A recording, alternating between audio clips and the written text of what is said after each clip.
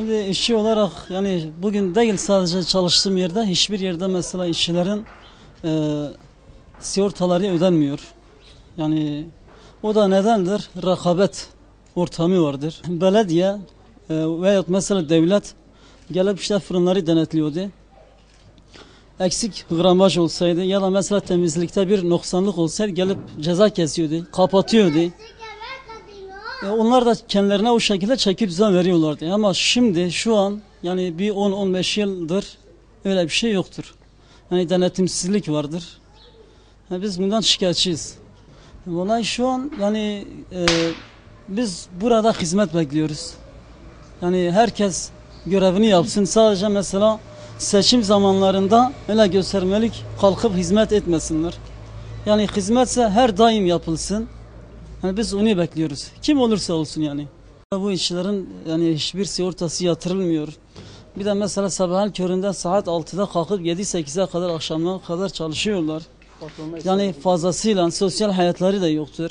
Bir cumartesi pazarları da yoktur. Yani istiyoruz ki mesela hiçbir yani bir pazarı da mesela istirahat olabilseydi veya mesela belli saatlerde çalışabilme olsaydı o da yoktur. Yani bunlara bir düzenleme getirilmesi lazım. 90 89'dan beri fırıncıyım. E mesela defalarca cezalar geldi. Bir telefonla yani gram eksik, eksikliği olsun, ne bileyim temizlik bakımından olsun.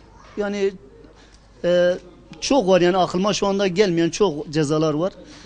Bir telefonla adamı var veya daha neyse iptal ediliyor. O cezalar kimse doğru dürüst ödeyen de yok. Biz yıllarca fırındayız. Desem bir kişinin bile sigortası yatırılmadı.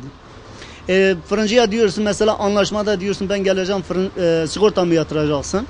Diyor he babam tamamdır. Hoş beş gittikten sonra kulak arkası. Ha yatır ha yatır kimse yok. E bir devlet bu gereke buna da bir el atam. E şimdi geliyor ondan sonra normalde e, nasıl diyeyim bir 5-6 kişinin çalışması e, çalışıyor. 5-6 kişinin sigortası yatması lazım. E bazı mesela yerlerde ise o dışarıda getirip yatırıyorlar. E, sanki işçiymiş gibi. E mesela ben hatırlıyorum e, sene 90'lardan 92-95 yani o civarlarda bize yetkili mes fırıncı dedi eğer bir yetkili mes sigorta için gel, geldiğinde bizi arkaya atıyor.